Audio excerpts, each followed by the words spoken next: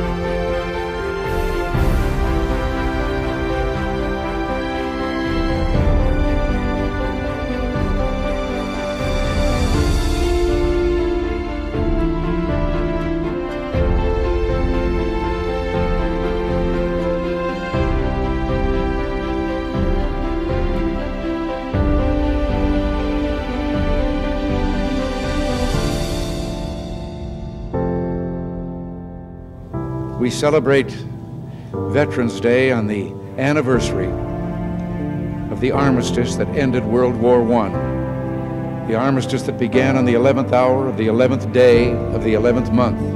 The timing of this holiday is quite deliberate in terms of historical fact. But somehow it always seems quite fitting to me that this day comes deep in autumn when the colors are muted and the days seem to invite contemplation. It is, in a way, an odd thing to honor those who died in defense of our country, in defense of us, in wars far away. The imagination plays a trick. We see these soldiers in our mind as old and wise, but most of them were boys when they died, and they gave up two lives the one they were living and the one they would have lived. When they died, they gave up their chance to be husbands and fathers and grandfathers. They gave up their chance to be revered old men. They gave up everything for our country, for us. And all we can do is remember. I will not fail thee nor forsake thee. In memory of those who gave the last full measure of devotion, may our efforts to achieve lasting peace gain strength. Let us make a vow to our dead. Let us show them by our actions that we understand what they died for. Strengthened by their courage, heartened by their value, and borne by their memory, let us continue to stand for the ideals for which they lived and died.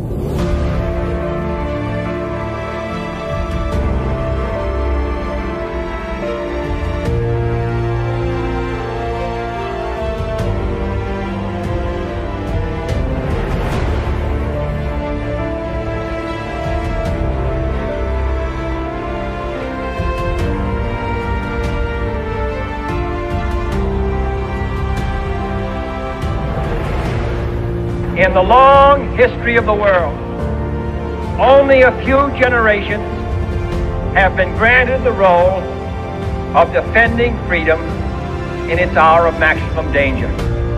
I do not shrink from this responsibility. I welcome it. I do not believe that any of us would exchange places with any other people or any other generation. The energy, the faith, the devotion which we bring to this endeavor will light our country and all who serve it. We shall pay any price, bear any burden, meet any hardship, support any friend, oppose any foe to assure the survival and the success of liberty.